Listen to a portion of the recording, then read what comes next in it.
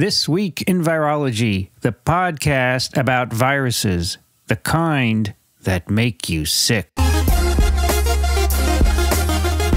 From Microbe TV, this is TWIV, This Week in Virology, episode 723, recorded on February 23. 2021. I just realized that. I'm Vincent Racaniello, and you're listening to the podcast all about viruses. Joining me today from Fort Lee, New Jersey, Dixon Despommier. Well, Vincent, um, looking out my window, I see clouds, uh, probably nimbostratus variety, low flying, probably moisture laden. The temperature is uh, moderate in the low 40s, high 30s. I don't have a thermometer, so I can't tell you. But and yesterday was pretty groggy. Today is pretty. It's getting better. Dixon's discombobulated because this is his first Tuesday twiv, right? Dixon? Yeah, I, I, feel out of sorts. the feng shui is all messed up. For, I'm sorry. Yeah, you got it. You'll right. get used you to it. Right. Also I joining will. us from Austin, Texas, Rich Condit. Hi, everybody. um, believe it or not, I got the window open. it's 75 degrees and brilliant sunshine. Oh, it's, it's more typical, Go f- right? Go figure. Yeah, that's what happens. From Madison, New Jersey, Brienne Barker. Hi, it's great to be here. It is 41 Fahrenheit, and there's a little bit of sun trying to peek through the clouds here. We have a guest today from Birmingham, Alabama, somebody I have known for many years as a podcaster. She's the creator of the Brain Science podcast, and she also happens to be an emergency room physician there in Birmingham. Ginger Campbell, welcome to TWIV. It's Hello, great to be here. um, in Alabama right now, it is where where I am, 70 degrees, 21 degrees Celsius, sunny. I played tennis for three hours yesterday, even though last week it was freezing and snowed here, but not, we didn't have Texas. No. No, no. So, Ginger, wasn't I on one of your podcasts during the 2009 uh, influenza pandemic, if I remember? No. Um, no, I think I probably interviewed Paul Offit around that time, though. Okay. I thought I, I spoke with you, but I've so Ginger has the brain science podcast, and um, that, then Ginger decided to get science podcasters together and uh, made something called sciencepodcasters.org, where she she curated basically all the science podcasts she could find. Right? It didn't last too long though. Well, what happened was the National Science Foundation started their own website. Right. and I figured we weren't going to compete with that. But I, you were one of the big supporters of sciencepodcasters.org, so thanks. Oh, it was a great idea. And, you know, the thing that the NSF started, 360.gov, is now gone. They took it down. So I I wanted to, before before we talk about COVID, um, we'll talk a little bit about podcasts. But before that, give us your background, uh, you know, where you're from and, and where you're trained and so forth. And why? Why? um, I was Or why born, not? I was born in Seattle, Washington, and my dad worked for Boeing. So I ended up in Alabama during Apollo in in um, Huntsville, which is north of Birmingham, and that's that's where I grew up. Uh, got married, moved to Birmingham, where I've been over for over fifty years. I started out as an engineer and decided to go to medical school. Uh, I don't exactly remember why anymore. um, I spent, I went to the University of Alabama School of Medicine, now known as UAB, and um, I trained as a family physician, but have spent most of my career in the emergency room in rural Alabama, which is mostly primary care anyway in the emergency room, since it's the safety net for people. Um, in 2014, I decided to go back and do a fellowship in palliative medicine. And I now practice palliative medicine at um, the VA hospital in Birmingham. And I um, have a faculty appointment with the School of Medicine, which they don't pay me, which is good because I don't have to go to meetings. But I, but I get to teach, which I love because all the years I was in rural Alabama, I was usually the only physician in the hospital, you know, for most of my 24 hour shift. So getting, you know, to teach young doctors and um, medical students is very rewarding. So, were you living in rural Alabama or did you commute to rural Alabama? I commuted. I commuted, yes. Yeah, I didn't realize. Always- oh, I didn't realize you were in Birmingham. I, I, I was there a couple of years ago. I visited the university. There's a bunch of virology there, by the way.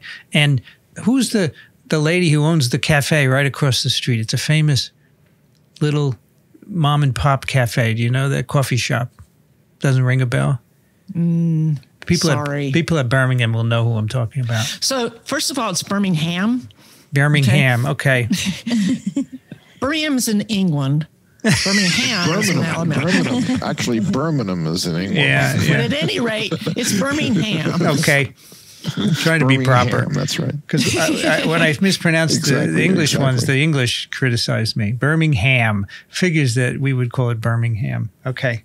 And why did you do the podcast? So you're not too far from Uh, Bessemer. yeah, Bessemer's a sort of a well suburb would be a exaggeration, but it's yeah. right.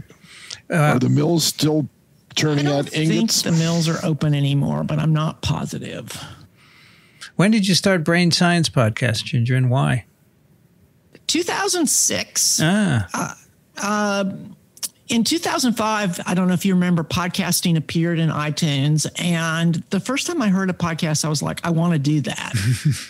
but I didn't know what I wanted to make a show about. So it took me a while to come up with an idea. And you remember discussion forums were popular back then. And I was on the forum for another show called The Sci Fi Show. And I did a little episode for them about a book about uh, by Jeff Hawkins, who invented the Palm Pilot.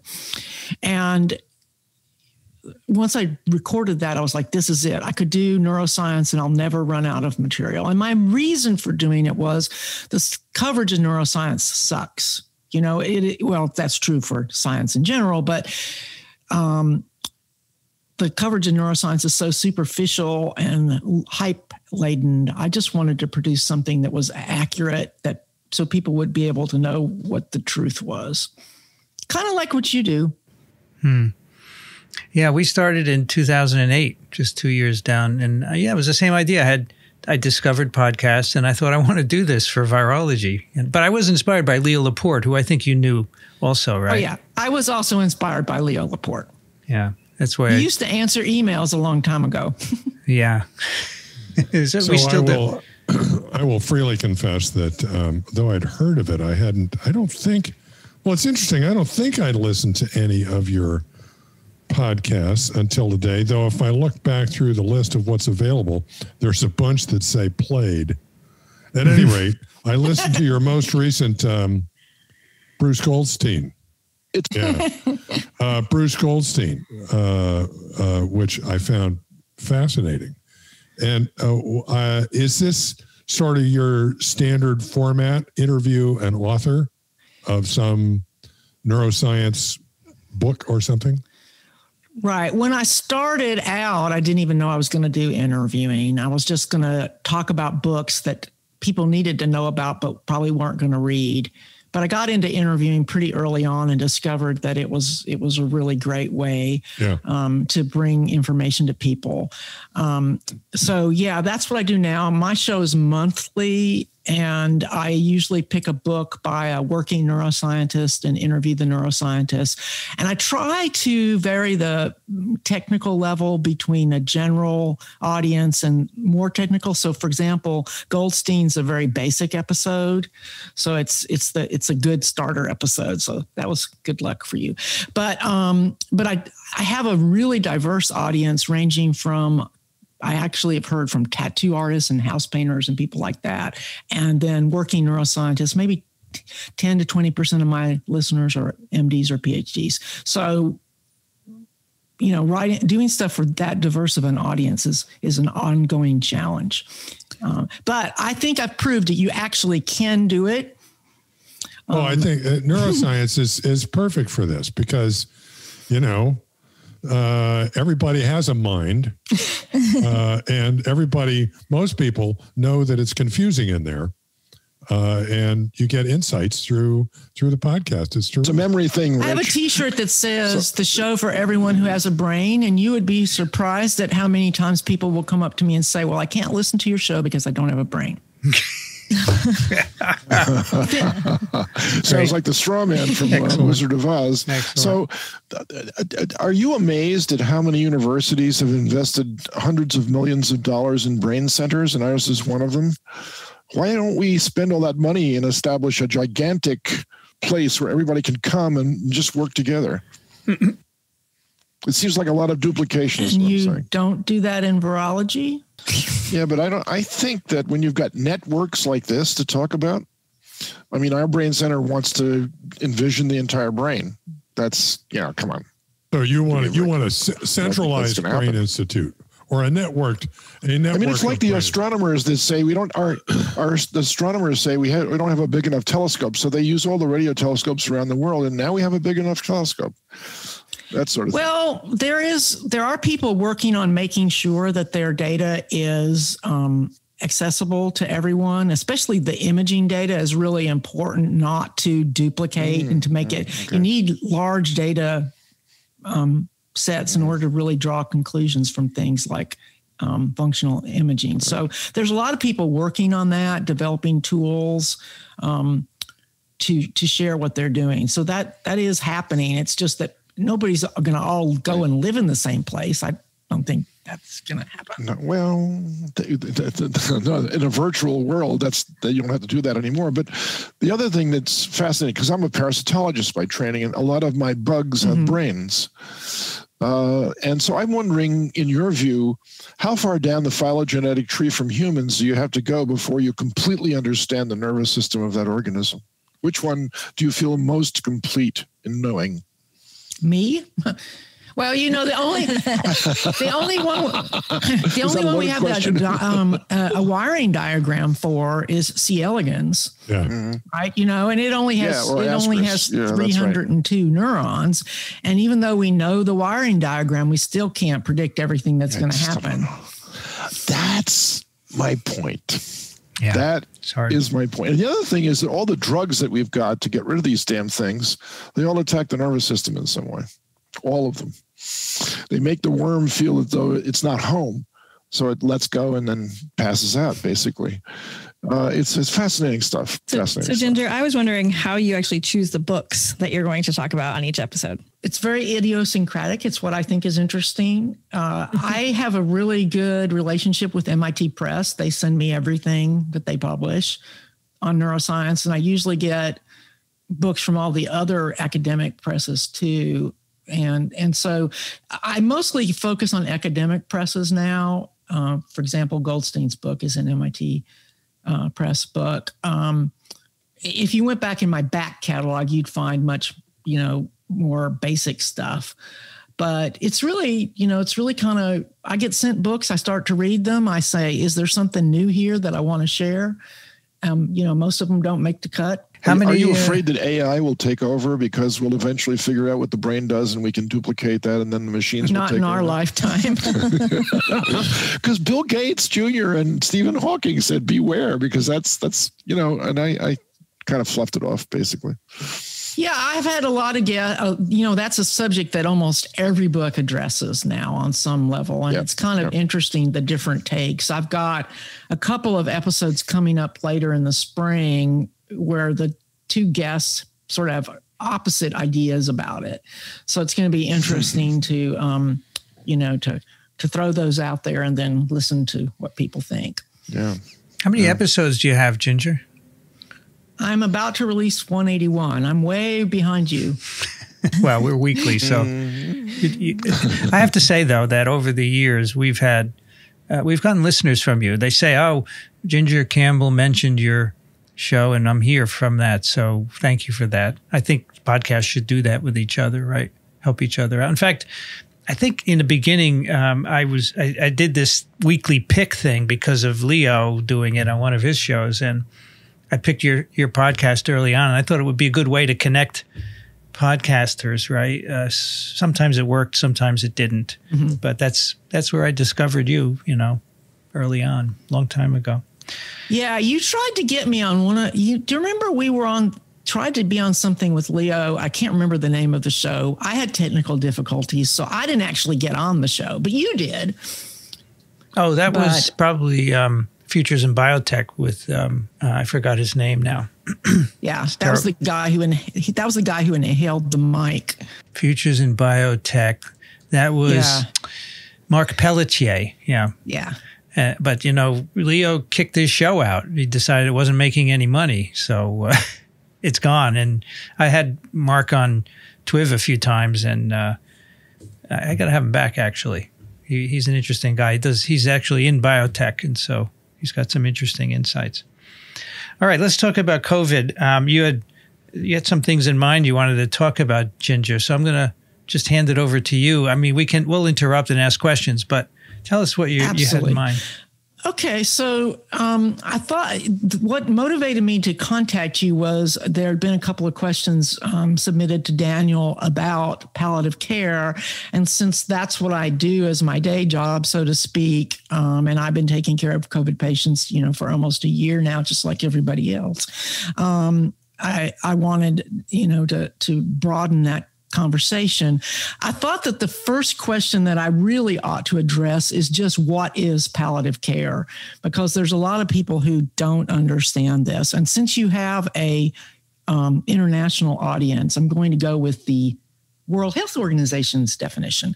But first, I want to mention palliative care does not equal hospice, because that's what a lot of Americans think. Okay, so that's it. So, according to the World Health Organization, and I'm paraphrasing, um, palliative care is a multidisciplinary approach to improving the quality of life of patients and their families when they're facing life threatening illness. And the goal is to prevent and relieve suffering.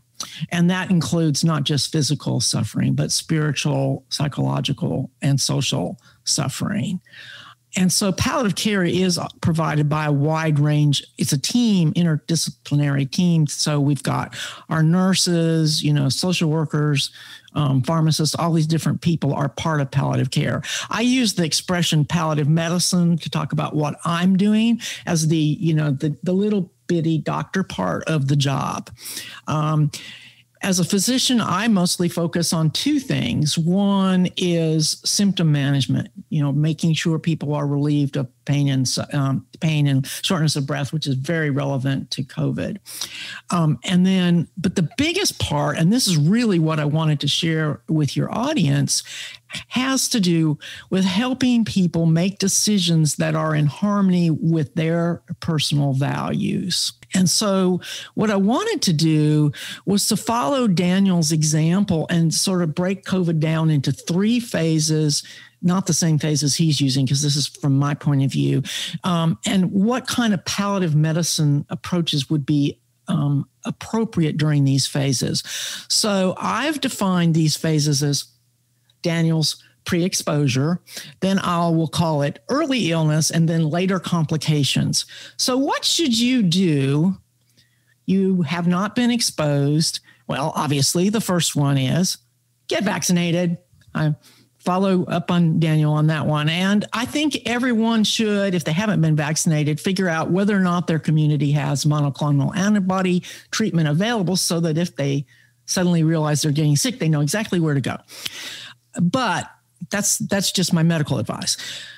As a palliative care physician, I'm going to say you need to know who is your debt, who is your surrogate, who's going to be the person who would make a decision for you if you got too sick to make your own decisions?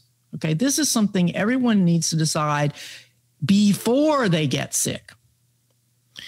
Um, and usually you might pick like you know your spouse or something but if it's a person who doesn't um, in the United States, every state has laws about who, what the chain of command, so to speak, for next of kin is. But if you have a person that you've chosen and it's not the one that would be the legal choice, then that's the when it's really important that you, you know, have done some paperwork. But the most important thing is once you've picked that person, you need to talk to them.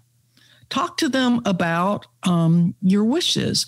Um, and especially the issue of intubation. I mean, that's the big, you know, elephant in the room, right? Would that's the question that usually comes when you read the questions on the um, emails. You know, when oh, my mother says she doesn't want to be intubated, what should I do? I think we should start thinking about what we would want to do before it happens. So, like back in April, I was of last year, I was like, no, I do not want to be intubated. I'm not even going to go to the hospital, period. That was my position. Um, I still don't want to be intubated personally. I'm 65 years old, and the odds that I'm going to have morbidity or disability after being intubated, even if I survive, are high. So, personally, I would pick no. But the thing is, every person needs to pick for themselves, and it needs to be on, you know, what's important to you, right? Um, and that changes based on your age but these are issues no one ever wants to talk or think about and that's really why I wanted to to, um, to bring it up. Um, so you've talked to your family and, and whoever's important, and then the last thing I would say is learn. This is in your pre-exposure phase. Figure out what kind of palliative care resources your community has. I mean, if you're in New York, you've got lots of resources, but if you're in a rural community, you may not have very many resources. But you can at least figure out, you know, you know what the how the local hospice companies work or whatever. Questions? Can I ask Yeah. you? So, Uh, yeah. all right, go ahead, guys. I have lots of Several. questions. Yeah. Go ahead, Brienne. So um, I think uh, people, you know, I guess my age group doesn't necessarily think about this stuff a lot. Um, and so, as you were talking about things like um, making decisions about intubation and finding out more about uh, your community, um, what resources would you uh, suggest that people use to actually help them make those decisions and to find out more so that they can make those decisions in an informed way? Okay. So, first thing is, you know, figure out whether or not your local hospital has, says it has palliative care. And you got to watch out for that because the real palliative care is mostly at university hospitals. Most community hospitals that claim they have palliative care have a nurse practitioner that says, hey, you're going home on hospice, period. So, you got to watch out for that. Um, you could um, also just you know google hospice in your community and figure out you know what the providers are because almost every community is going to have you know hospice providers. Um, those are private companies that then you know provide the care. Um, and and you could just go and say uh, you know maybe go to their websites and learn. Most of the hospice companies will have information on their websites about what they have and you can call the local person and say you know how are you guys handling covid? Are you taking covid patients? You know because that's an issue. Um, uh, but i would want to know you probably know what hospital you would go to if you're sick Sure. so go to their website and look and see if they've got palliative care that's where i'd start So, So I, I was, I'm sorry, Go ahead, Dixon. Rich. I, I was always under the impression that to intubate or not is a physician decision, not a patient decision. yeah and that's part of the problem So, that so you know where did that happen? Okay, so it, it- that's not the way it works in the real life. Okay, it, you have the right to to decline any medical treatment. That's been established by Supreme Court cases. Okay, so you have the right to say you don't want to be intubated. It's just that everyone's going to assume that you do unless you tell them otherwise, which is Are these are these patients that can actually speak at this point? Well, that's the probably not, but that's the reason why these kinds Exactly, of decisions needs to be made ahead of time. If you if you feel that you wouldn't want to do it, then you need to make that you have to make sure people know ahead of time. So, what does the physician tell the patient or the family of the patient of the pluses and minuses for being intubated or not? Um, probably not very much. I think the problem is they make it sound like it's for sure going to work. Right. I mean, that's one of the issues we have with young physicians is trying to get that's them to communicate that we hope this will work.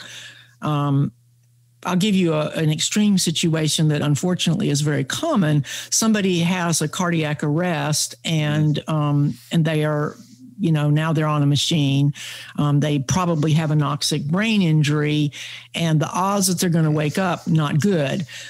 The team should be saying, you know, this is a bad situation. We're hoping he's going to wake up. If he doesn't wake up in three days, we're going to be facing hard choices. Give that gives the family three days to think about it. But but nobody ever does it that way. We we have a long way to go on having you know, what we call palliative care 101 among regular physicians. Um, so and, and that's the re, that's one of the roles of palliative care is to make people know you do have choices. You can choose not to be intubated. You can choose not to get CPR. The reason why you get CPR automatically is historic. I mean, think about it. When you go to the hospital, everything you have to sign, you have to give permission for, you have to give consent. Mm-hmm. They can't give you a blood transfusion against mm-hmm. your wishes. Mm-hmm. Okay. But you can get CPR against your wishes because you're not really in a position to refuse it when you're having a cardiac arrest. Right. And when CPR was invented, nobody really knew who it was going to be effective for. It was, well, we should do this just in case. You know, we now know that, you know, at least, you know, probably 90% of people are going to die in that situation, but we still do it as if it's going to work and it works 90 it works 90% of the time on TV, so Right. so, I have a couple of questions. First, um, uh, what are the current statistics relative to COVID um, about your outcome okay, so, being right. intubated? So I'm going to work. I'm going to, you know, I work with uh, what I call ballpark figures, which I know are not you know the most up to date but the one i work from is based on what i've heard from daniel mainly is right now if you're intubated you got about a 50-50 chance of surviving. And unfortunately though you've also got better than an 80% chance of having some kind of disability on the other side. So those are the numbers um, that i would right. work from those are the very rough numbers, but I think yeah. that the you know more detailed numbers aren't going to help the average person make a choice. Are these age and um, um, advantage versus disadvantaged patient determined, or does this apply to everybody? That's my everybody number. Obviously, if you got dementia, you, your chances are going to be lower than than the 50 50. Um, but. Mm so but I mean, pe- the thing is, people die even though they have had nothing wrong with them before. Yeah. Right. The Strange other thing world. that interests me about this is your um, is the what I would call a dilemma of deciding, say, even. Uh, I mean, I have a directive to physicians. I've got durable power of attorney, all that kind of stuff. Deciding when you're healthy, uh, what you want done Okay. At the same time, I've always thought to myself that uh, you can never really know what it's like to confront one of these decisions until the decision is actually yours. Okay. That your perspective, if somebody tells you you got six months to live, your perspective on how you might deal with that might be, it was likely, I don't know, seems like it might be different than imagining from a healthy state how you might feel about that. And so, you know, how can I make uh, a, a, decision that's really a, a, completely informed decision, a rational decision from a state of health about this? You, I don't. I'm not arguing that you should necessarily make a decision at the point at which I am in this conversation. I'm saying you should be thinking about it. Okay, you should at least be thinking about. Well, um, there's a great book by Atul Gawande that I highly recommend um, called "On Being Mortal," and in there he has these four questions to ask patients to help them make decisions. And one of them is, you know, what do you have to be able to do for life to be worth living? Okay, the answer to that question makes a big changes as you age. I mean, you know um, when when I was 30, you know, it was not the answer that it is now. I mean, I take care of mostly older patients who, for them, it's being able to be with their family, being able to interact. So, the real problem with what's going to happen if you have a cardiac arrest is what is the chance that you are actually going to be a conscious person who can interact with your family afterwards? Unfortunately, unless it is in certain situations not good. Um, so, but but I, is it okay if I move on to yeah, part two? And yeah. because okay, sure. Um, okay, so now we've gotten now you've got it. Okay, things are more interesting now. You've got COVID, um, early illness. So, number one, you're going to go get your monoclonals if you can. Now is a point at which you do need to make some sort of tentative decision about what you're going to do. Um, and I already gave the 50% survival and the greater than 80%. But let's say, okay, you decide, I, am I'm, I'm going to go for it. I'm going to be intubated if if I need to. That's that's I think that probably for a lot of people that's still going to be a reasonable choice at this point. But there's going to be people that it's not a reasonable choice. Um, the 95 year old patient with dementia. I've, I've sent two 95 year old guys home on hospice because their family had the sense to say, we need him at home with us, not spending his last days on a ventilator. If you've made a decision, you obviously need to talk to your doctor. And also, this is, you know, if you're sick enough that you're at the hospital, ask for palliative care remember that that does not mean that you're giving anything up. It just means you're going to have somebody to support you in um, arguing for your choices. The point of palliative care is not to tell people what to choose, but to make sure that they know they have choices and then help them think through those choices. And a lot of times it's helping the family to think through the choices. In fact, that's what it is. Um, and you know, if a person has a poor life expectancy because they are already really sick, then it's time to think about hospice at the very beginning. Um, because the person could go home and spend the rest of their life at home. Maybe they survive, maybe they don't, but at least they're not spending that time in isolation at the hospital. And this is where we're really, really failing most of the time. And this is the reason why I, I really wanted to come on the show because I want people to know that they do have these choices. They, I mean, most of the referrals that we've got where we've been able to help people in these situations has been because the patient's family has asked for it, not because the physicians thought of it. Right. Um, so you really, this is another one of those situations where you have to be your own advocate. It's kind of like AIDS was back in the 80s when everybody had to fight for for treatment. It's the same thing. Patients need to fight for palliative care. It just doesn't it's it's not really necessarily on everybody's um, radar. So, Ginger, if I'm a 20 year old and I come down with the symptoms of COVID, do I run off and get monoclonals or do I just sit there and sniffle and blow my nose until it goes away, like my granddaughter and her boyfriend did? Or am I a 65 year old that's at the cusp of being you know over the top so to speak you you have a long way to go believe me. I'm now 80 years old so I, i'm in another group entirely and i've got both vaccinations so I'm, I'm okay. I feel good. There's still a small chance that i might catch it. If i start to get sick from this that means the vaccine didn't work because my antibodies are no longer being produced or something weird is going on and, and i need some special advice. But uh, at what point do you say antibodies or just go home and it'll go away you know, I, I don't, I think that that's going to have to be an individual decision. I mean, you know, my understanding of the antibodies is that they need to be given pretty early. So that's a that's a complicating yes, thing. You can't right. wait till you're starting that's to right, get right. really sick and then ask for them. So therefore, you know, um, I think I would be inclined, given the fact that they're out there and they're available, that if I had access, I would go ahead and do it. But that's just my bias. I mean, I don't see the downside. Um, now, of course, if you've already been vaccinated and you're already out, you could argue then it's probably not going to work. But that's that's a whole different issue. I mean, below the age of 30, you're bulletproof. There's no question about this. They're, they're absolutely bulletproof. They'll go to the beach, they'll go to the bars, they'll go to the restaurants, they'll go to class. They don't feel vulnerable. But you, you, I, have heard you say that you watch um, the PBS NewsHour, so you probably all the time. So you, you know, on on Thanksgiving when they had that on Thanksgiving when they had that special episode where they showed all the people who had died from COVID.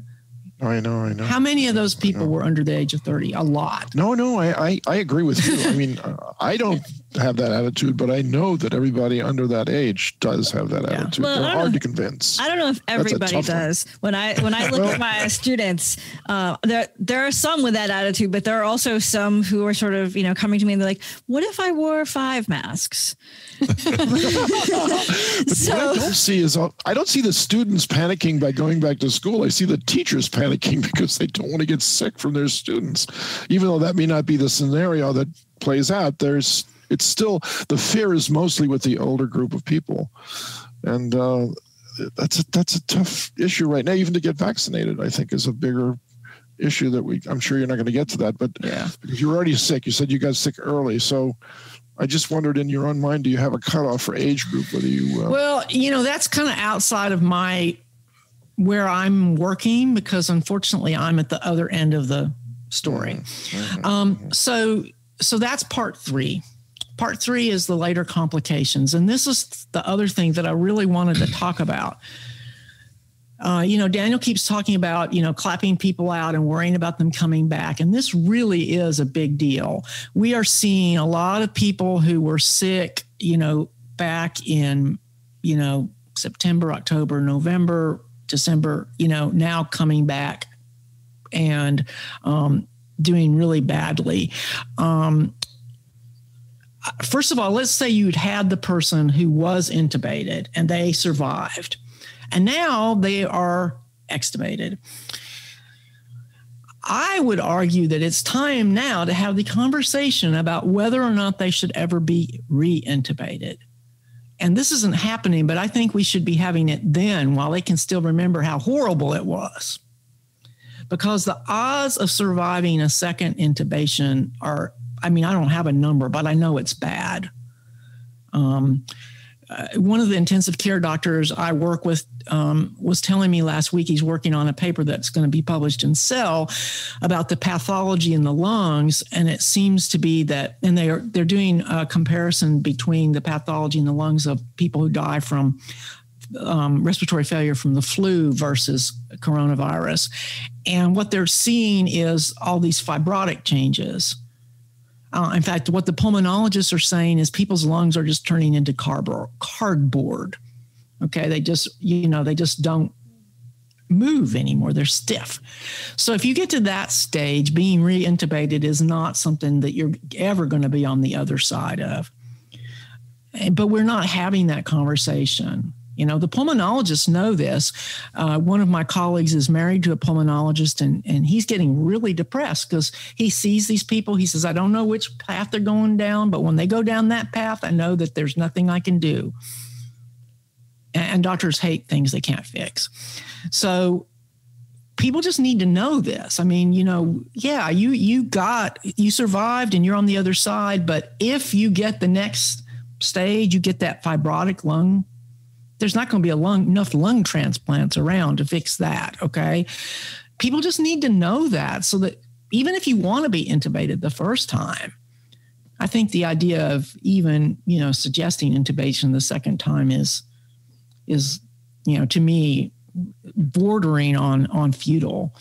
Um, but most people don't don't even know that. And the other thing that I want to talk about is the neurological um, sequelae. Um, Daniel's talked a little bit about this, but uh, what we're say, seeing is it's COVID is like a, a dementia accelerant. If, if you got something, any kind of neurodegenerative thing, COVID makes it worse. Um, a lot of the patients I've taken care of haven't died from respiratory failure. They've died from what it did to their brain, whether they had strokes from the thrombotic or they just, their brain just quit working. They quit being able to swallow. Is something we're just seeing all the time, both in people that had dementia and people who didn't. And these are the sorts of things nobody talks about that I, I think, you know, we're talking about the long COVID, the chronic fatigue people but these other people, um, this is a whole, you know, another another end of it um, that I just want people to to know about because one of the things that's happening is everybody's high, you know, nobody can go in the nursing homes. Nobody knows what's happening. it happens that the woman who who does my tennis courts um, drags them in the morning. Her day job is she's a nutritionist at a nursing home, and she said, "Yeah, definitely. They've you know because you know the nursing homes have been devastated with COVID. She's even had it. Um, just all the patients being much worse."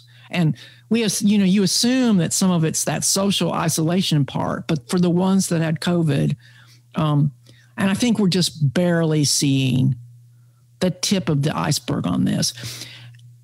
And one reason I think this is important is that if you have a family member who has dementia and they get COVID, it's it's bad. I mean, you really should think about going on, you know, just going straight to hospice and you know making their time as good as possible. Um, but that you know that's my personal bias. Obviously i'm in palliative care because i believe in um, in um, palliative care. But that was that was something that i really wanted to share. Um, i'm going to sum up with three things and then leave you with a chance to ask more questions so the three things i want you to remember one is ask for palliative care early it doesn't limit your treatment in any way to say, I want palliative care. It just means you've got somebody else to talk to to work through what your choices are. Um, COVID accelerates neurodegenerative diseases. And the third thing is if you get recurrent respiratory failure, you have a very, very poor prognosis. Now, the um, can I ask you this recurrent respiratory failure? This is not necessarily a reinfection. This is more you've got problems still remaining from the first infection, right? Right. Right. So what will happen is the person will come in, and of course they throw antibiotics at them, but they don't get better. Um, I can think of one patient last week in the ICU. We were looking at his CT scan, and it it looked like like the lungs of a person with what we call interstitial fibrosis. You know that's a idiopathic disease that people get that's one of the common reasons for lung transplants. It looks sort of like that but the pulmonary fellow was showing us how to tell the difference. But um, it just does this you could think of it as scar tissue kind of. Is sort of a simple way to think of it. Um, but it does this damage in fact it makes um, you know, you're not supposed to be able to see airways on the edge of the lungs because they're supposed to be really small but they get all collapsed and then you have these big airways that you can see on the CT. I mean, it's really, it's pretty amazing how horrible it looks. And, and there's nothing to do to fix it. Mm. And it, does it get worse with time? Yeah, I would guess so. I don't know the answer to that for sure, but it's already so bad that I'm not, I'm not sure what the word worse would mean. I guess um, I mean clinical progression, right? Yeah. I mean, I know um, a lot of um, people who say they walk after recovering. They say I walk upstairs and I can't breathe. Right. And I right. have a 26 year old in my class who's in that condition. Right. Yeah, and I don't know. You know, I don't know anything about that subset of patients you know, I don't know how much actual lung damage, you know, nobody's really studying those people yet. That's one of the things Daniel's talking about, right? So whether that person has any irreversible lung damage, I don't I don't know. That's something we need to figure out. But I do know that the people that end up back in the hospital have got really bad lung damage. Is there also cardiac damage? Yeah, um we aren't you know, I I have a skewed sample, so I haven't seen as much of that. I'm sure it's going on. The things I see is the stuff that happens in the brain. Um, obviously, all the thrombotic stuff, um, which includes causing people to have stro- strokes. Um, uh, those are the big ones. When somebody's in respiratory failure, they don't usually make it out of the ICU. So we don't necessarily take care of them at the end. We take care of more of the people that have the other things. But so one of the things that interests me most about this conversation is the ask for palliative care idea, because uh, this is a it's it seems like palliative care should be uh, a regular part of any physician's sort of menu. All right, and I don't think I don't think that as I mean, your whole point in being here is that many people either don't understand what palliative care is, and certainly don't understand that it, uh, even if they do understand that, that it's not necessarily on the top of any uh, physician's agenda. It reminds me of, I always thought that science based medicine was kind of a funny uh, phrase because it struck me as redundant, but it's not. so I, um, I, I want to ask you whether or not you've, uh, since you've practiced rural medicine as well as urban medicine, um, do you see a big difference with regards to this lung disorder that you were describing before from people living in rural places where the air is better, their lungs are, they're not smokers. We have to eliminate that as a factor. but, and that's hard to do in some places, right? Because a lot of people are still smoking. But I work at the VA. I don't have any non-smokers. I, uh, I hear you. I hear you. I do hear you. And now that we've legalized marijuana in lots of places, I'm wondering what that's going to do to everything. But still, uh, there's got to be an environmental component to this someplace that that makes the difference between whether you tip the scales in favor of a, a serious outcome or whether you go on to recover we've been teaching this for years that the air is cleaner and better in the rural parts of uh, the world than it is in cities. You can tell if they're a city people just by looking at their lungs on an autopsy. Ha ha ha. Um, so you know, I don't know. Have you uh, noticed any trends that are worth talking about in this level? I don't have enough of a exposure to the to the rural patients. I mean, okay. they they do sometimes you know get sent to us, but you know since we're in the city, um, as as a city as Birmingham as Alabama has. Um, in in rural Alabama, there's a lot of health problems associated with various, uh, you know, chemical plants and yeah, sure, sure, paper sure. mills and all those different injustices. Yeah, That's yeah correct. exactly. That's why I asked you about Bessemer before. so I never, I don't think, I don't think of rural as being healthier. So.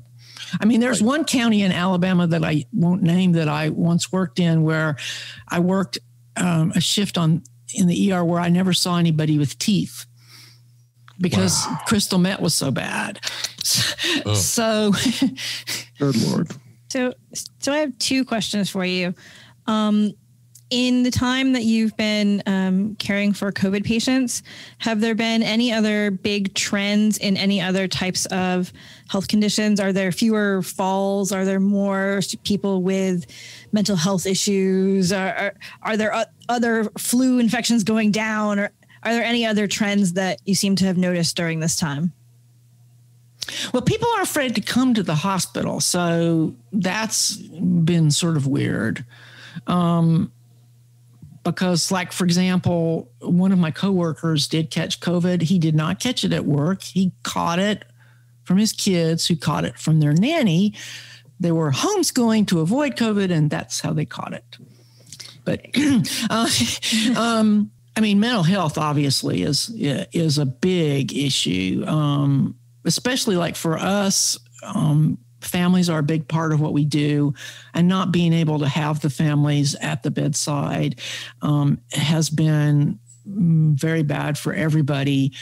Fortunately, we now have the VA has some new rules that have to do with ending isolation you know, after 10 days if the person's on the floor and after 20 uh, if they're in the ICU with some other criteria so we can get them off isolation and have their family be able to be with them.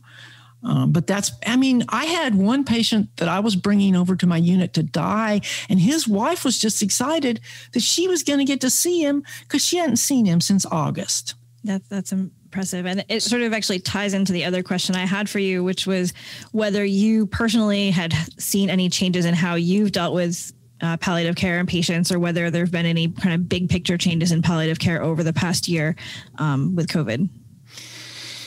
Hmm. Well, it's definitely difficult to communicate in a mask. And if you have to then put, you know, the other, you know, face guardy stuff on, it's almost impossible. Um, trying to have hard conversations with people over the phone instead of face to face is really, really hard. And I don't know why, but because the last two weeks that I worked, I lost four patients a week to, to, to COVID. And it was really hard. And I'm not really sure why it felt very different from losing patients to something else. I mean, I deal with dying patients. That's what I do. I lose my patients to cancer. I lose my patients, you know. But for some reason, the COVID hurts. It hurts worse, and I'm not. I'm not really sure why. I want to ask you about um, ventilators. You know, back in the polio day, we didn't have vents. We had iron lungs, negative Iron pressure, lungs. right? And you know, Daniel has suggested that that might be better than event. Maybe you would have better outcomes. Yeah. Any ideas there? Would you be better off on a negative pressure device? It's not invasive.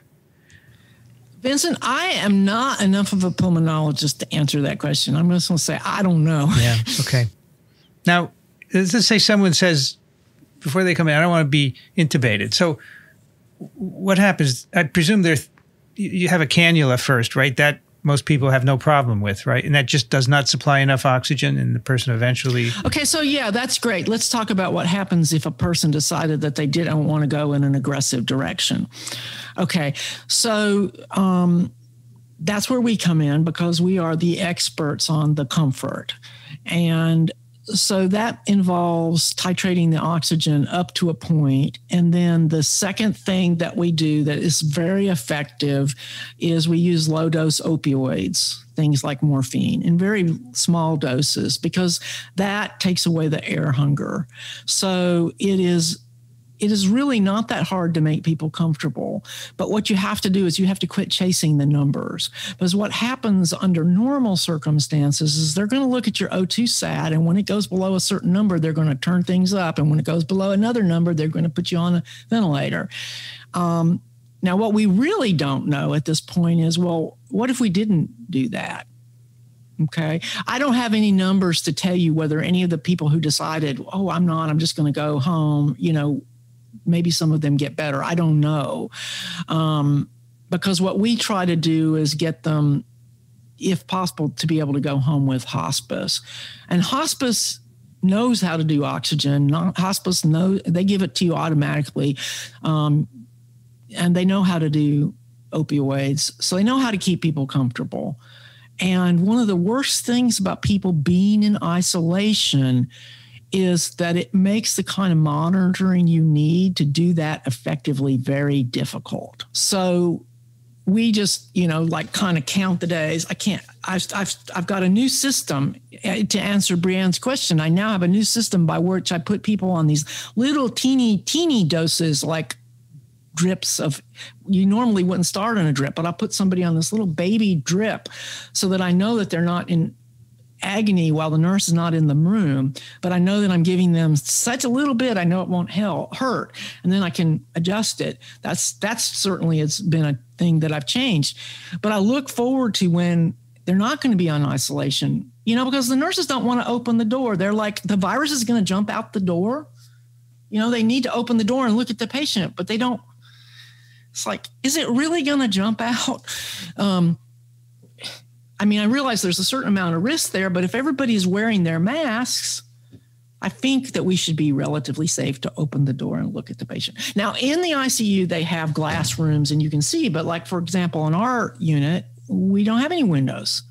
So, and neither on the floor, they don't have any windows. Those patients are in those rooms. If the nurses don't look at them except for when they put all the gear on and go in, it's a problem. That's why I want my patient to be at home. So I was interested in that because you're going to be sending somebody home who, well, I don't know what the assessment is. Are they assessed as being potentially infectious at that time? And if so, how do you deal with that in Mm-hmm. home environment? So normally everybody in the home's already been exposed, but I would assume that if you got somebody who hasn't, they're going to be not. Um, the I don't. I have one hospice that I call, and they always take my patients, and they they deal with it. You know, they consider it part of their mission. Um, I don't know what rules they follow. Um, but I mean, I'm comfortable with the fact that probably 10 days out from a positive test, the person's probably not contagious. And a lot of the time, you know, that we're going from their fir- from the first positive test, which isn't usually when they became symptomatic, right? So they're even further out. So, one of the things we've dealt with is just getting our nurses comfortable with the fact that the patients that we've taken off isolation probably aren't contagious because they're afraid to go in the room. They think the person might still be contagious, and that's an issue. Have there been any known infections in in, in that way in healthcare workers going into rooms? That that um, most of the ones I know about have all been been air airway things. You know, like during intubation, I that see. sort of thing. Yeah. Um, I know one of our intensive care doctors got it, and I think that there was something that happened. Um, our respiratory therapists don't do um, that. You know, they wear N95s all the time, and they they don't do nebulizers. They only do meter dose inhalers, and I don't know how you can get a person who is like semi-comatose to do a meter dose inhaler, but you know that's that. Um, so there's some things they won't do because they're considered high risk. do you wear also uh, eye protection or just masks? Um, yes, eye protection. Okay. How about pushback from being vaccinated? A healthcare worker refusing vaccination. Um, yeah, I mean, I'm at the VA, which has been great for getting vaccinated. I got I got my first vaccine the within the first week that they were out. We had the Pfizer vaccine. I think I got mine on the second day that that the shots were being given. So, um, but it's optional right now, and that's that's an issue at some point. But they can't they can't make something that's EUA mandatory. So that's kind of a a problem. But they can take your job away, though, can't they? Well, it hasn't come to that yet. Um, one problem is that that nurses get their information from a lot of bad places. Exactly. Yeah, And like then at pe- home. Yeah, and then people, well, like the news, and then people think. I mean, I had a nurse tell me that it came from a lab, and I was like, I wanted to pull my hair out, and Whose lab? You know, And, you um, mean it came from a Labrador Retriever? yeah, and, and to me, this is frustrating because people, I'm sure you've seen the same thing. They get the information from their neighbor that's a nurse who was a horrible source of information, but because they're a nurse, they think they know. And, right. um, you know, that's always been a problem. It's just sort of accentuated with COVID.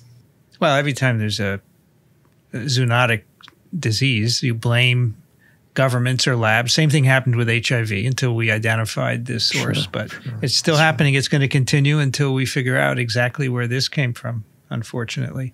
And and you would be amazed that the people, I mean, there are academics who've subscribed to this. Of course, it's not I get emails all the time. Can you believe this professor is saying this? It's not his field though, or her field, you know. And I would say that it's not easy to understand the data, which clearly tell us it's not from a lab, right? And right. but that's. And I wanted to ask you, um, wh- have have things been getting better now in the last few weeks? Yeah, I think I think we turn hopefully turned the corner a couple weeks ago. Um, the end of December and the and January were horrible, um, but I think I think we're turning the corner. I was looking at the Alabama numbers on the website today, and we I think we're into 14 days of decline, so that's good. And we it looks like about 73 percent of the vaccines what we've gotten have been given. So um, um, I think we're making some progress on that too. Do you have any idea how, what fraction of the state is vaccinated? Um, it's like 700,000 people, and there's like 5 million people in the state, Okay. something like that. So, so but, we, but we've gotten like a million doses and we've given 730,000 of them out. So that's not bad compared to some states. Yeah. Right. Uh, Ginger, anything else you wanted to put out there before we say goodbye? No, um, oh, I did want to mention how much I enjoyed hearing Paul Offit back on again. Yeah, he was Um, great. So he was on. Brain Science podcast a while ago, right? Well, he was actually on Books and Ideas, Books and my, Ideas, my yeah. little obscure show, um, a couple of times. That's where you review books, right? um, everything from science to science fiction, anything that doesn't fit on brain science. Okay. All right. Yeah, I, I I've heard of that one too. well, Ginger, anytime you want to come back and talk some more about this, you're welcome. Well, if you get if you start getting a bunch of questions, you know, gather them up. I'll be happy to come back and and and um, Start. I have uh, tens of thousands of questions that we never get to. I mean, I know, I know. and many of them, I mean, I I made a separate email for Daniel, as you know, and, and already I have more than I can possibly answer. So I, I'll send some to you, and if you feel that they're worth uh, or something you could answer, say they're all worth answering. Uh, we can have you back, and we can do a Q because Daniel just can't do it, right? Um, I'm sure you're just as busy though. So, well, I'm I'm sort of like semi-retired, uh huh. so I work uh, approximately half time. But when I'm working, it's pretty intense. That Most of And the then time, when I'm and then the rest of the time I work on my podcast. So that's my, you know, that's that doesn't take any time, as you know. it doesn't take any time. No, but are you always in the ER or not always? No, I don't work in the ER at all anymore. Okay. I'm working purely in palliative care. Got it. All right.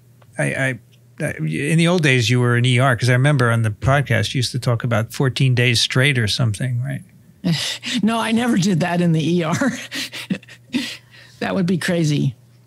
But you do do extended. Yeah, I do do extended like seven, eight days in a row on palliative care, and that can be hard because you get the compassion fatigue. Ah, compassion fatigue. That's interesting. yeah, it makes sense. I, I never thought of that before. All right, Ginger. Ginger Campbell, brainsciencepodcast.com. Been a pleasure having you, Ginger. Thanks so much, Vincent. Thanks, It was Ginger. great. Thank you. This is really interesting. Enjoyed very, very Bye-bye. much. Boy, I got to say, that's sobering. Very much Yes, so. You know, you could look at numbers all you want and half a million deaths in a Yeah, it doesn't right. mean a lot until you get some personal insight like that, right? You're right. You're right. You are right. Not sure I'd want to be intubated. Listen, I remember when Daniel uh, first hit the wall when his hospital filled up, Yeah, sure. and he was busy 24 hours a day for seven days, and he hadn't slept, and he was just absolutely at another planet, basically. And I can understand that, that could happen very fast. Well, I don't think you function well under those conditions. And as she said, doctors don't like to lose patients, right? That's right. And I, I They guess, don't like to not- yeah, I mean, I guess with the an infectious disease, a new infectious disease comes along, you're like, it's it's especially frustrating because it's brand new. You, you think, gosh, this shouldn't be here.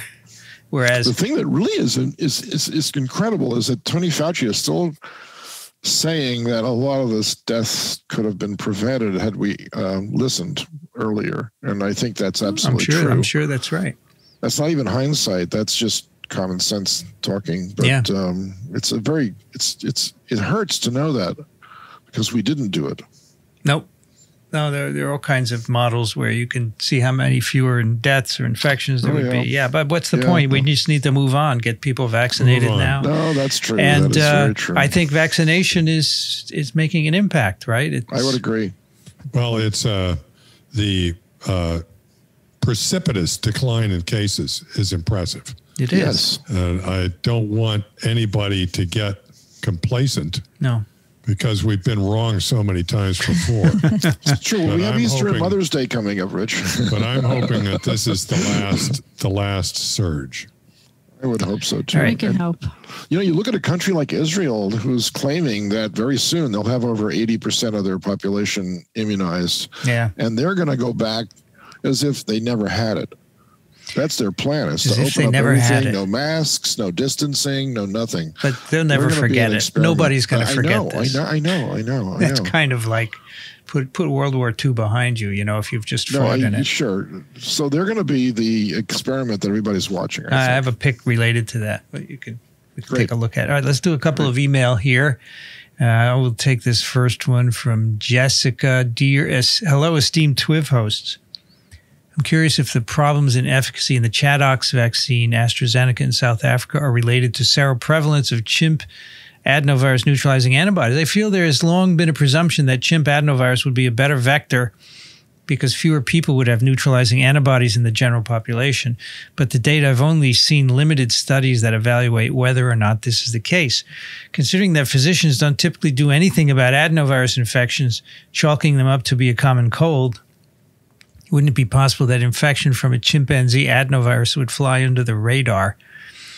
Perhaps in the case of AstraZeneca vaccine, the vector is neutralized before the benefit can be achieved. I see a lot of media correlating the lack of efficacy on the composition of the variant, but I feel like it could be possible that exposure to Chad might be involved. Thoughts? Thanks for everything you do. I'm so happy that so many more people know what I'm talking about when I say my favorite podcast, TWIV. Stay safe and well. And her quote um, is from Martin Luther King I have the audacity to believe that peoples everywhere can have three meals a day for their bodies, education and culture for their minds, and dignity, equality, and freedom for their spirits. Amen. Amen. All right, so Kathy put some notes in here, um, and we had dis- discussed this previously on TWIV 718. Neutralizing antibodies to uh, ChIMPAD Y25, the vector of the ChAdOx1 construct, defined as 50% neutralization titer over 200. That's a dilution of 1 to 200. 0% in the UK population, 9% in Gambian population. And that's from a paper uh, in PLOS plus one. We'll, we can put the link to that. But of course, it doesn't answer the question of South Africa, right? Is there any seropositivity in South Africa? There's no chimps that far south in Africa. Uh, they're in zoos. they would- they're in zoos. Yeah, in zoos. But how many true, people you're go to right. zoos? and, and South and Africa mix it up is a zoo, closely with the basically. Yeah. No, no, I've been to South Africa. It's a Yeah, zoo as they- long as you don't. Uh, if you if you turn off of a major highway, you're going to see a giraffe. I can promise you. Yeah, I mean, you're you're going to go to a game park, um, and not to a zoo if you're Oh, they're they're running around all over the Right, place. Brianne. right. They're they're not just in game parks. right. But if you were going to go to they're eating people's. Yes, I Okay, yeah, you're not. I have- you're absolutely right. I have watched a baboon steal steal someone's uh, banana for lunch um, in South Africa. So Exactly. So we can. So we are confident in saying there's likely no seroprevalence in uh, South Africa. Then, right? That would be my guess. I would say low. So Low. I, uh, Would be very I, I would likely, like to, for my own purposes, uh, review this general idea that the ChAdOx vaccine is somehow uh, less efficacious than, say, Pfizer or, Moder- or, or Moderna. Do you, uh, do any of you have numbers uh, uh, on this? I mean, i- is this really a significant problem? Alan probably does, but Well, So go ahead, Brianne. they, they haven't done the full FDA review, and so the the giant packet of data that we've seen for Pfizer and Moderna aren't available. Um, but we're also they these vaccines were also trialed in very different populations um, against sort of slightly different viral challenge, uh, given some of the uh, changes we've seen in the virus. And so I think that the numbers are lower, but I think it's a little bit of an apples to wrenches, I believe someone used to say. And we don't really know what the numbers. Well, I guess Here, I have some numbers. doors. uh, here's some numbers, Rich. Uh, South African ChAdOx, 2,000 participants got two doses, either vaccine or placebo. In the vaccine group, 19 were infected. In the placebo, 20. Both. Yeah, that's the one. That's those are the numbers that caused them to stop using Yeah. it. Yes, And that's both variants. Uh, both cases, the uh, South African B1 135 was the infecting virus. But And gee, yet that's this is this is the vaccine from the the larger the initial trials with a large number of people outside of South Africa. Whereas I recall, this was this is the low dose, uh, high dose versus the two standard doses, And blah blah blah. but different the spacing over- of the timing. Yeah, but the overall was about seventy percent or something like that. Is that right? Yes, I believe that is correct. As the the standard dose was in the 60s, the half dose standard dose was I think in the 80s, and it averaged out at about 70 percent. What interests me when I think about this, as I recall from talking to Jason, is that this is uh, the one of the vaccines that are on the front line that does not have the prefusion stabilized right. spike. right. And I wonder what the impact of that is. Because Jason was pretty um enthusiastic about uh, the effects of that uh, prefusion stabilization in terms of eliciting an antibody response in animal models. So, Well, we, we went over the the AstraZeneca data, remember, and yeah. especially where they waited a little longer in a certain group of people after that first dose, and the protection was even higher, right? At least in Yeah, the UK.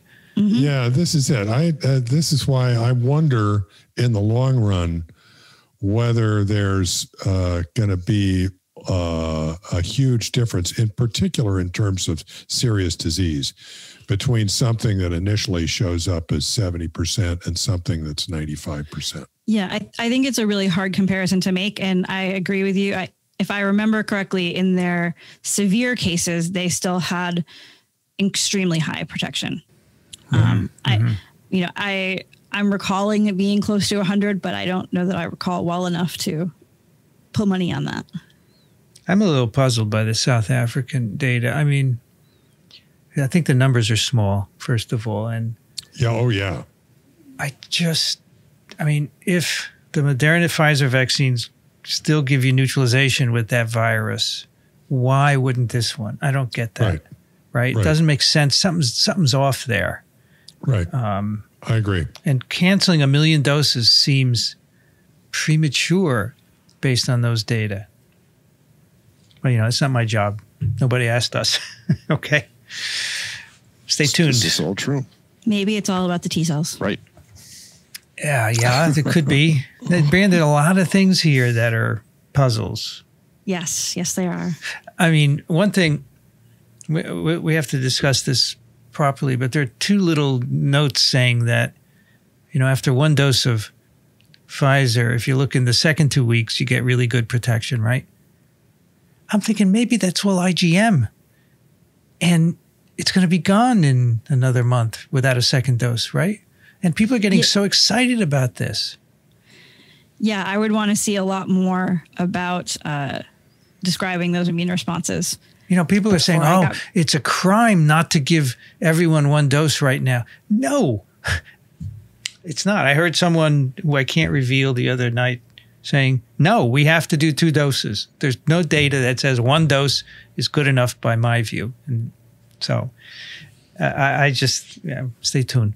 All right, that let's tends to be my feeling too. Uh, Rich, can you take Lind the next one?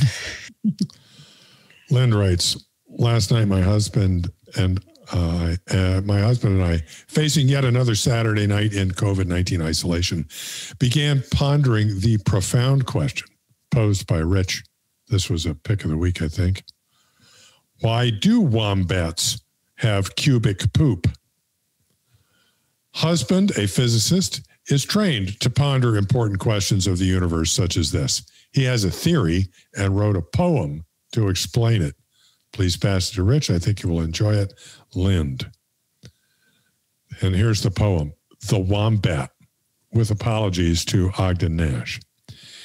If you ever find a wombat, please don't challenge it to combat because this weird marsupial has really strange poop, y'all. Somewhere deep down in its colon, eldritch processes do roll on pushing, kneading, squishing, squeezing, stretching, packing, shaping, teasing, till out into the light of day pop little cubes of poop. Hooray! So, what does Wombat do with that little pile where once he sat? He stacks it up to make a wall, then hides behind and makes a call to lure his prey to venture near, not seeing that a wombat's here. Then out he jumps, hurling poo at wallaby and kangaroo, hurls each cube with such deadly force that it would stun a full grown horse. And worst of all are those eight corners. If hit by one, you'd be a gorner. So beware of cubic wombat scat you can't be sure where Wombat's at. Quite good. Lovely. Boy, you guys really are bored. Uh, That's great. Thank you. That's great. Thank you. Yeah. Dixon. Uh, yes, I will be glad to. Lisa writes, Hello from South Florida, likely the only place in the nation without snow at the moment. I'm a pediatric nurse practitioner and just listened to your interview with Dr. Offit wow, he is fabulous as always. But what a fantastic discussion about not only COVID 19 vaccines, but about vaccines in general. My daughter was born in 2004. She became ill with a rotavirus shortly after her second birthday, and a bit before the newer generation of rotavirus vaccine became available. When I left in the morning for work, she was perfectly fine. I got a call around noon that she'd been vomiting. I'm the opposite of an alarmist, but by 3 p.m. it was I was concerned enough. I left work early. I took one look at her and said, "We're going to the ER." She was so dehydrated she collapsed into a pile on the floor if she tried to stand up. The ER doc stopped at the doorway and, before even walking in the room to examine her, said, We'll run some tests, but I can already tell you I'm admitting her. Treatment is, of course, simply fluids and time. IV fluids when necessary. Fortunately, I live in a resource rich country where this is readily available. I have no doubt that, were this not true, she would have died. These resources cost me $10,000. That was my insurance deductible at the time, but the imperfections of our healthcare system are another discussion. When the new rotavirus vaccine became available shortly after this, it was, of course, an uphill climb to obtain acceptance from providers due to the past history of the previous vaccine.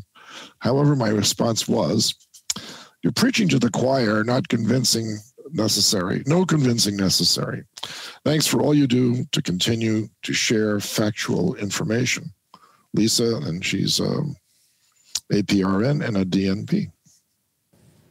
Dinitrophenol, Brianne. Hey, I was exactly. going to say. Delayed type hypersensitivity reactions.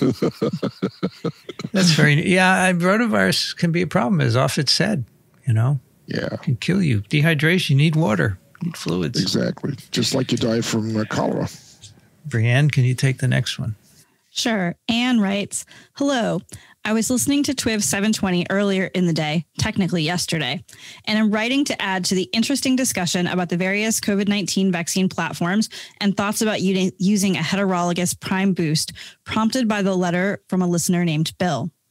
I think it was Alan who mentioned something to the effect that there had been some discussion about setting up trials and added, I don't know if anyone is going to get around to doing them.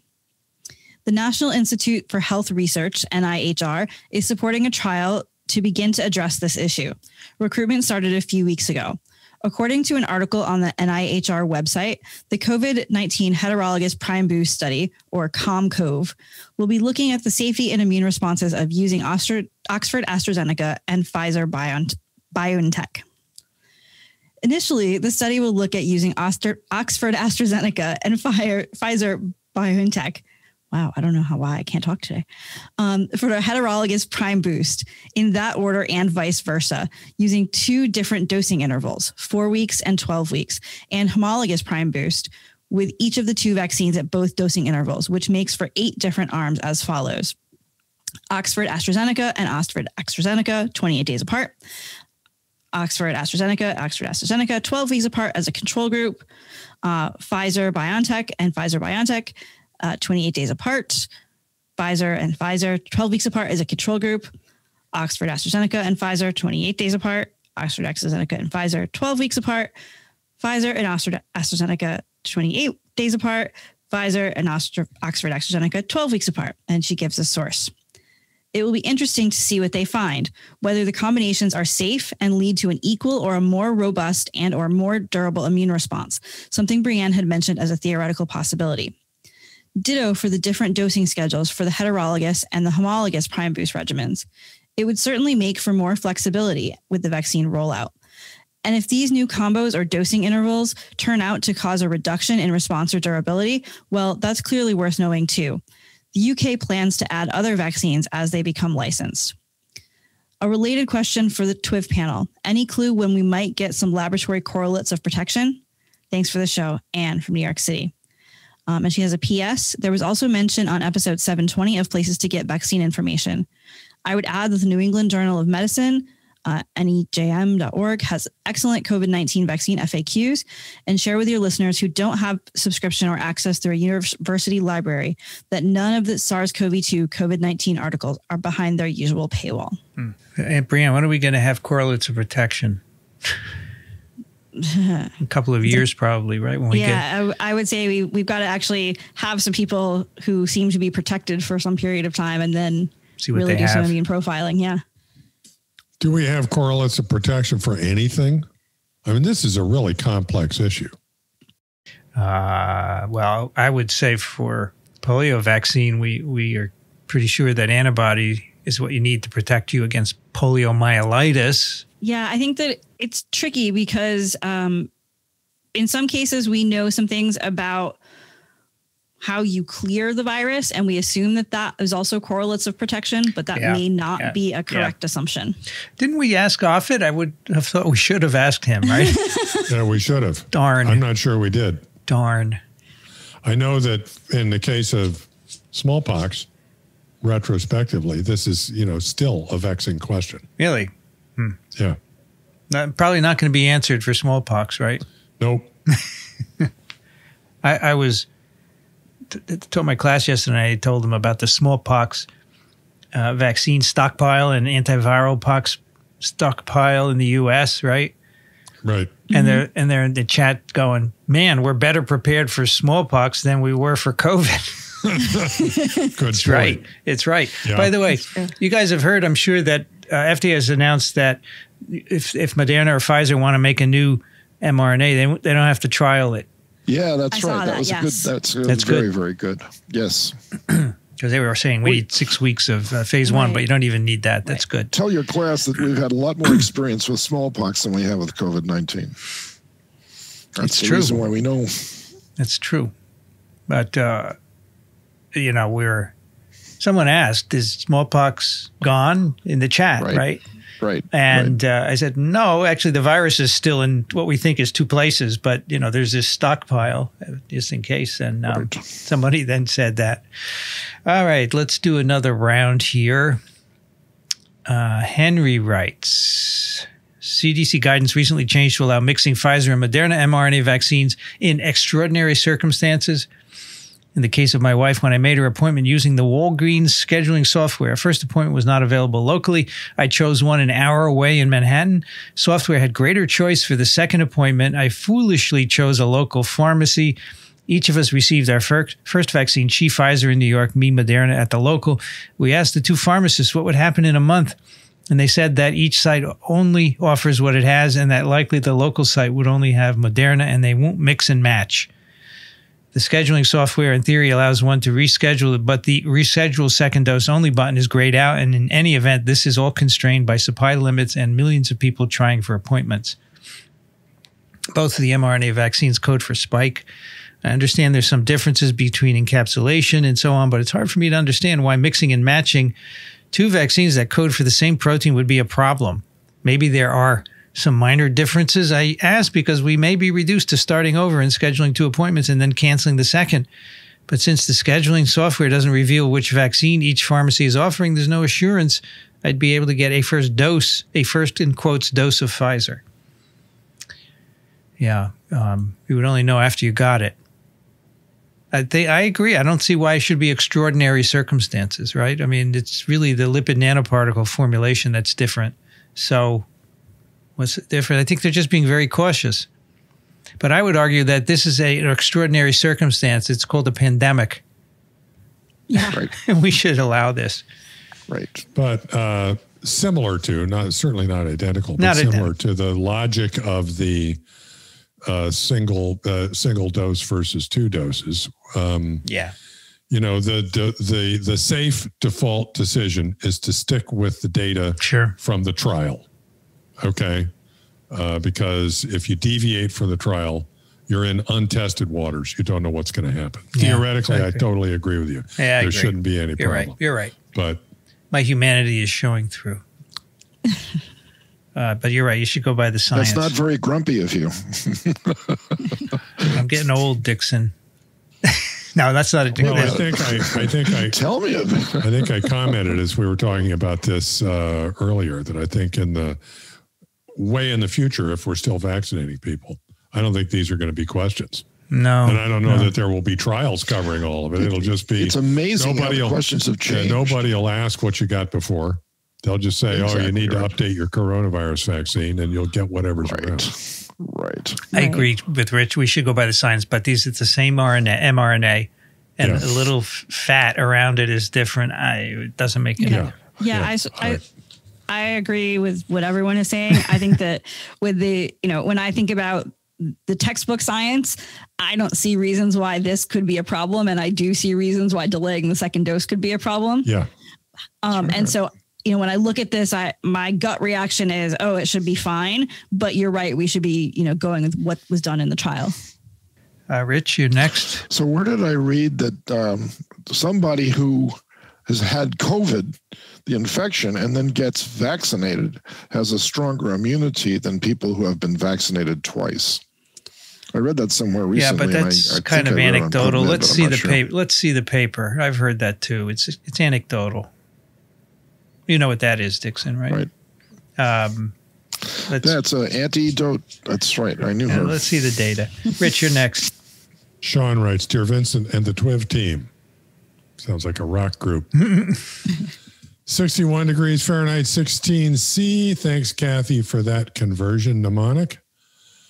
In Las Vegas, where I'm sheltering with my in laws, I'm just the owner of a small improv comedy theater in New York City, but an avid listener of TWIV, or at least since March 2020, when we made the difficult decision to suspend all of our in person operations. It was quite a shock business wise, but well worth it in an effort to protect the health of our staff, performers, patrons, and the greater improv community. In these uncertain times, I owe you a debt of gratitude for being a trustworthy source of relevant information when I have needed it the most. Your discussions, knowledge, and banter have accompanied me on countless walks and kept me sane. Thank you. I've learned so much from your podcast that I'm the go to guy in my family for questions about everything SARS CoV 2. This came in handy when my wife, Robin, who is an amazing singer impressionist, asked for my help writing a character piece about Dolly Parton and the Moderna vaccine. Here is the result. And uh, it's got a YouTube link that I haven't looked at. We need to look at this. Please uh, feel free to share if I got the if I got the science right. I hope we did you guys proud. Stay safe, Sean. P.S. My wife bought me a Twiv hoodie for Christmas that I wear as often as I can. These things are comfortable. Thank you, Sean. I will have a look at this uh, YouTube uh, video. I need to actually boot the thing now. Ah, sorry, So I didn't look at uh, it. Did anyone else look at it? No. I, I did not look at it, Right. but I do agree with Yeah. Sean about how excellent the hoodies are. Dixon. Yes, sir. Ingrid writes Hello, Twiv. Thank you for your informative podcast. I am completely hooked. Here's a follow up question to episode 720. Dr. Offit described that the goal of reaching herd immunity is to get viral transmission down to such a level so as to avoid hospitalization and death.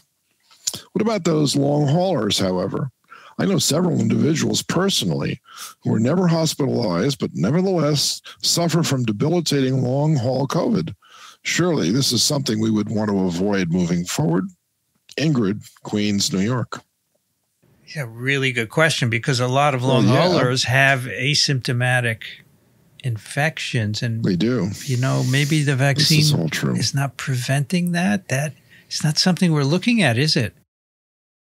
I mean, we there's a little bit of data No. trickling out about prevention of transmission and prevention of infection, and I suppose if we had some better answers there, that would partially address Ingrid's question. But I think Ingrid has a great question. Um, Yeah, we don't have an answer, but the people now you remember that Moderna was going to do a study on college campuses to look at transmission, and we heard it was canned for lack of funds. But I heard Sunday night now that they got money to do it and it's going to go forward. So that's the kind of thing we need, uh, Ingrid. That's a really good question. Really good. So, uh, Vincent, aren't the 48,000 people or however many were, that were in the Pfizer vaccines uh, third clinical trial, uh, aren't they being followed for Yeah. two years? Yep. Yep. We'll get data from And that so too. those, they'll Yeah. have a lot of people that were asymptomatic, right? Those, so that should Maybe. emerge from that group, Yes. I think. So if they follow them for two years, we'll see if any of them get long COVID. And if none of them do, Yeah, exactly. great, Then hooray. great sign, right? I mean, I would say you don't have to Absolutely. probably don't have to wait two years. You probably will know in maybe That's six right. months That's or so, right. right? That's right. That's right. And by the way, when is it going to become an officially approved vaccine? Well, what uh, actually, first of all, the word is licensed. Licensed, right? Okay. I meant that. Uh, Ed, Of Ed, I meant Ed, that. Ed, I'm sure, is listening here, and he will. Uh, he's probably yelling at us that drugs drugs are approved, vaccines are licensed, with the one exception that vaccines get an emergency use approval. And Offit's Is it answer to approval your or authorization? uh, authorization, sorry, Thank you. uh, and uh, Offit's answer to your question like is that these uh, vaccines may never be licensed. Okay. It could be that the, and uh, I take away from that, that the emergency use authorization may get us through this to the point where it's not worth the time, effort, money, et cetera. I mean, we may take care of the disease. Okay.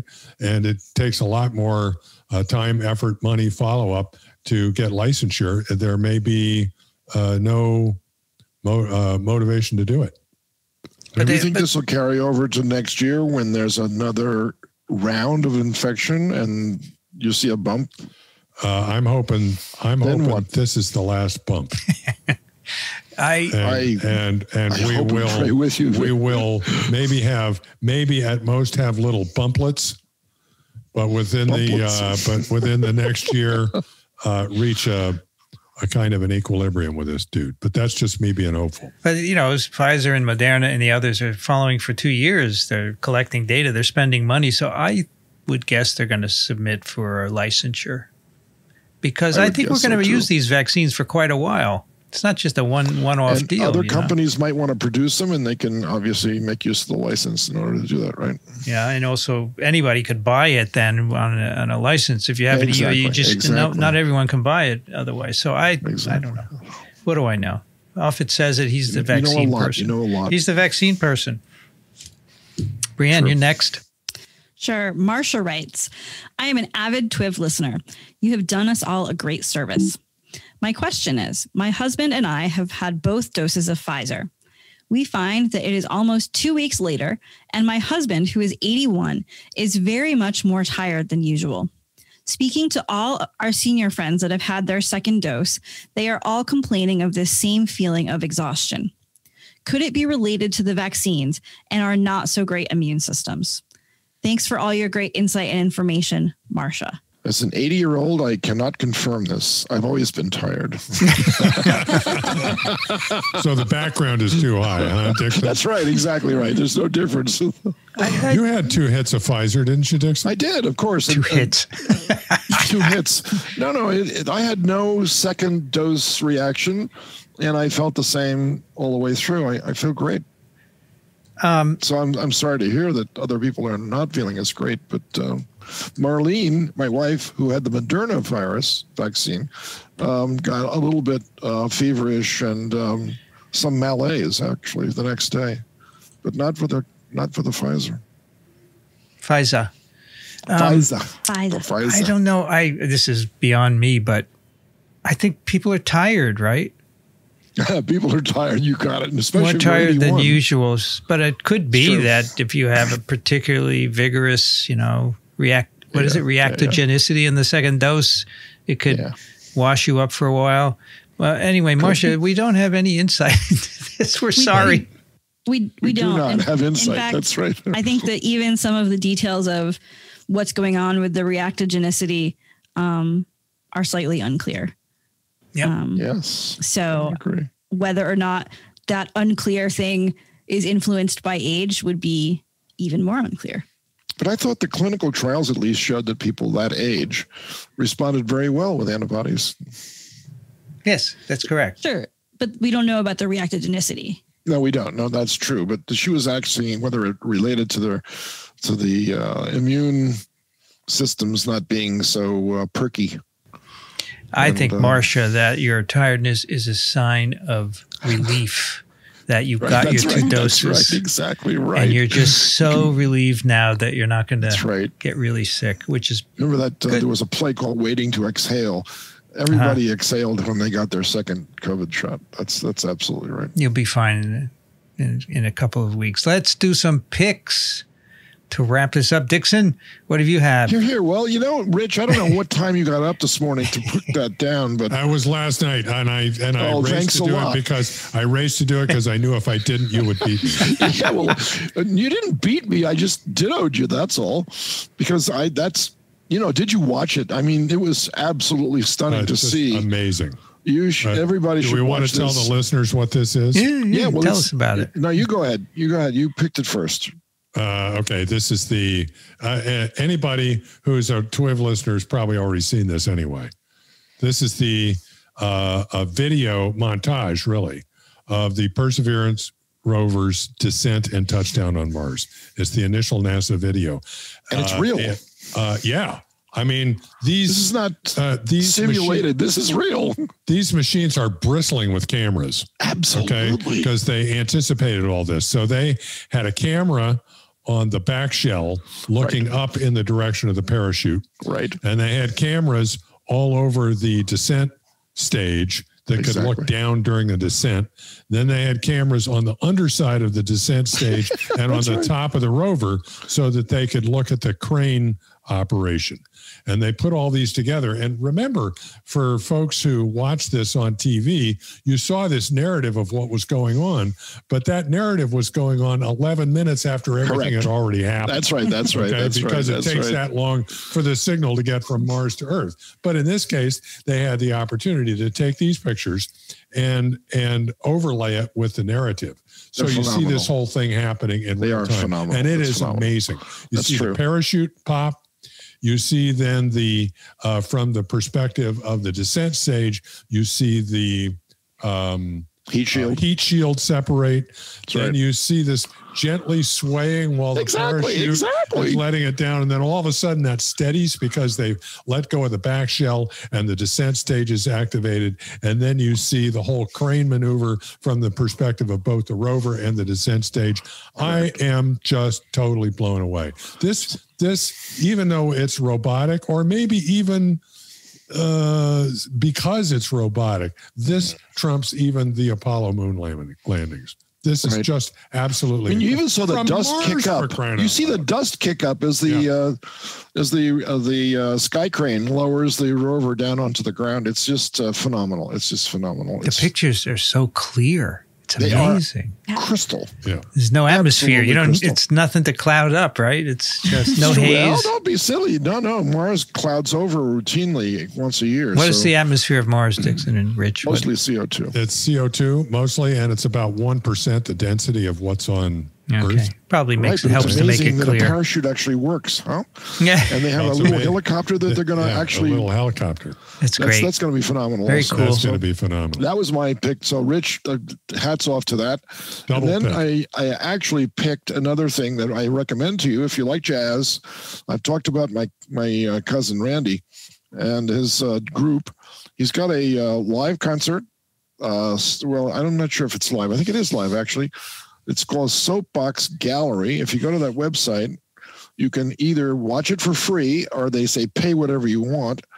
And it's uh, February 27th at 8 o'clock. And uh, he, he's doing very well as a performer. So I think that it's very difficult to find performance space now for people to actually watch. So I, I'm very proud of him, of course. So I would promote his career no matter what. So um, give him a listen and see what you think. Excellent. This is soapboxgallery.org, right? Yes, that's correct. Huh. Now, where where does your uh, nephew? What is he? Sorry, uh, He taught at Bard uh, Early College, which is a high school for gifted students oh to get into school early. But right now, he's uh, he's full time studying to be a jazz performer. That's what he's doing. I thought it had And to be in you. go. I thought it had to be inside you, Dickson. Oh, it's oh no, it's it's it's inside of him. He's got the. But you need it. the technical part, right? You do, and you need to put the right people together for the right songs and all this. It's a, it's not so easy as it sounds. I don't doubt that it's not easy. Believe me. No. I mean it's like arranging a group to work in your lab to do. It's like getting cooperation and getting people to. That's pretty hard too. It's very difficult. It is hard. very difficult. Brianne, what do you have for us? Um, so I have uh, something called Cell Picture Show. Um, and I've actually used this in some of my classes for years.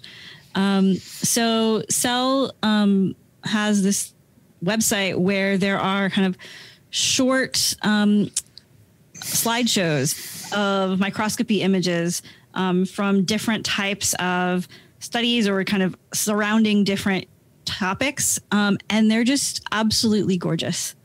Um, and every time I look at them, I sort of can't even believe that someone can do microscopy that looks that beautiful.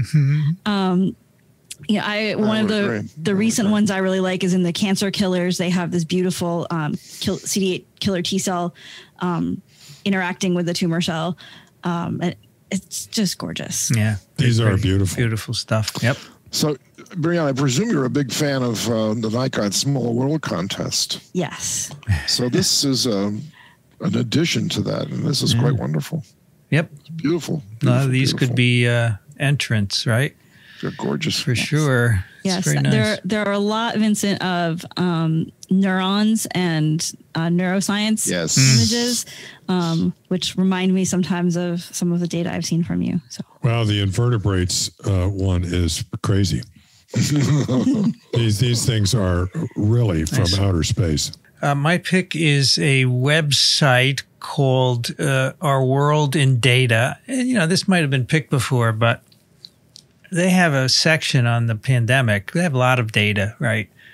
And they have a section on the pandemic which has all kinds of amazing graphs that you can look at and customize to exactly what you want, and you can download it. But I, I was interested in vaccinations. Actually, I was on a call the other night, and someone showed this. This is someone from Israel. And of course, they showed this because Israel has the best doses per 100 people of any country in the world. Uh, way beyond the next country is United Arab Emirates. And then the UK and, and the US are down there, way down though.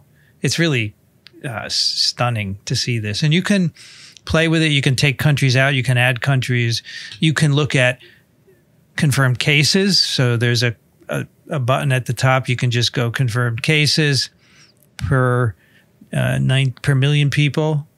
You know, cumulative. You can do confirmed deaths. You can do case fatality. You can do tests. What country has performed the most tests per thousand people? United Arab Emirates. Over 2,500 tests per thousand people. And we are around a thousand tests per thousand people. Anyway, if you like data and like to display it, this is an amazing site. You could spend a lot of time here. So there's a tab on this uh, vaccinations one that's uh, uh, that interests me, and that's the map Yeah, yeah. that shows the distribution and shows uh, that we uh, have work to do with respect to making sure that this is distributed globally. We do. We have a lot of work. Africa at this point is more or less left out. Yep. yeah. Vincent, has anybody decided to go back and test the people who have already been vaccinated? You know, in the clinical trials, are they, are they doing a routine testing on those people? Uh, for what? Infection? For the yeah, no, no, not for the infection, just to make sure that they're still reactive. Well, Um, there are there's a two year follow up for all of Okay. these phase three trials, and what they're doing varies according to the company. But Yeah, you know, minimum they're tracking anything that happens to them. I'm sure they have an app that they're doing a daily thing with. Um, I'm not. I don't know about taking samples. I'm sure they're taking serum periodically and looking to see how long, you know, the the reactions Right. last. Uh, Right. And they may, if they're smart, they do PCR periodically, right? Send Yeah, in a, that's- that's a right, nasal that's swab, that's just right. mail it in. I would do that if it were my trial to see Sure. if there's infection. So, Okay. yeah, They, they could also just look for N antibodies. Yeah. Yep. Yep. And to see if you've been infected, I guess, yeah, that would be easy. You wouldn't have to do Just PCR. look for another antigen Yeah. other than the, uh, The spike, spike, yeah. protein. That's right. I'm actually impressed with this, uh, Vincent, that the coverage in the U.S. with uh, two doses is uh, nearly 20%. it's pretty good. That's great. Yeah, that's pretty good. That Yeah, is great. It's gone up a lot in the last month. Yeah, and I would like to see a it map. Continues to go up. I'd love to see a map of the United States where all of those points are put onto the map to see where the immunizations have occurred in clusters bigger than 20%. Such a thing probably exists. I'm sure it does. I you can do know- actually download the raw data for any of these. They have them. Oh, really? Okay. You know, as okay. fi- as Excel files, and you could massage them. You could do that, Dickson, with I your do know programming that skills. as of uh, as of uh, a week or so ago, the state in the U.S. with uh, you probably know this, Dixon, because West you watch the news hour, West Virginia. That's the one. That is the one. So the, the- I we had one of the um, I guess it was Brevias or something like that where we were talking about uh, targeting advertising for vaccines to various groups Mhm. to get more buy-in. Uh, because the Yeah, ads are yeah. not very convincing, to be honest. They're they're not. there are ads on TV. yeah, I, I don't lots see of them what do they from the state departments of health and Uh-huh. that sort of thing. And what do they say? Go some get of them are very convincing, and others are, eh. Dickson, I think they should get you on an ad You know what? because you're folksy. You're Uh, very no, folksy. I don't want to do this. I don't want to do this. I'm, I, I, In know, fact, you're why don't they get me, that you and Brianne? You got both ends of the age spectrum here. You got if folksy Brianne does it, I'll Dickson do it. I, and I cheery be a partner Brianne. with Brianne. Yeah, I think that would be All great. right, let's go. I would totally do it. I, I would that I would do. Yeah, because you I, I do won't that. do anything unless it's fun. Is that why you do Twiv? I love doing this show. All right. I I'm don't glad to just like it. I love doing it. You love doing show. it? Yeah, well, we enjoy it. It's a lot of fun. Twiv, microbe.tv slash twiv is where you can find the show notes. If you have a question or a comment, send it to twiv at microbe.tv. If you like what we do, consider supporting us. Microbe.tv slash contribute. Dickson Despommier, who really enjoys Twiv, who loves It it. does. He's at trichinella.org and thelivingriver.com. Thank you, Dickson. You're very welcome, Vincent. Very welcome. And the Tuesday Twiv is like Friday Twiv, more or less. I, you know what? Now I don't have to worry about Fridays except for my teaching obligations. So I'm, I'm actually, I, I I'm, I'm cool with this. If you don't mind, I'll switch to Tuesdays. Do you mind? I don't mind. Is that okay? It's okay with me. All right. I'll, I'll do it because I, I think like Kathy, uh, she's got teaching and she's switched her date. So I'll, I'll switch mine. She while, teaches on. Friday. Yeah. I don't know. I think she might. I, I think she does actually. Hmm. But this is this feels more comfortable. I, I, I've enjoyed this very much. Well, I wonder why. It shouldn't. It should feel the same.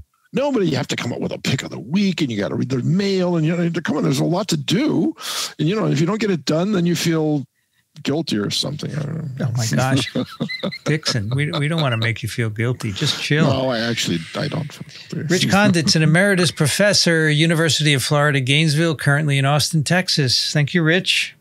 Sure thing. And Dickson, guess what? There's a page in this our uh, site, a subsite in this Our World on Data that's Yes. about the U.S. that takes it apart state by state. Ah, lovely. It doesn't have doesn't have maps, but it's got enough bar charts to keep you up all night. oh, It's that's amazing. great. It's I'll, I'll amazing. look. It's I'll what a back site, man. It's just great. It's great So for always for a good uh, time. for lectures. Always It's say that. time. It's always great for lectures, Brianne. You can get all kinds of figures to illustrate things. It's really good for that. Nice. Brianne Barker is a Drew University BioProf Barker on Twitter. Thank you, Brianne. Thanks. It was great to be here. I'm Vincent Racaniello. You can find me at virology.blog. I'd like to thank the American Society for Virology and the American Society for Microbiology for their support of TWIV and Ronald Jenkins for the music. This episode of TWIV was recorded, edited, and posted by me, Vincent Racaniello. You've been listening to This Week in Virology. Thanks for joining us. We'll be back in a couple of days. Another TWIV is viral.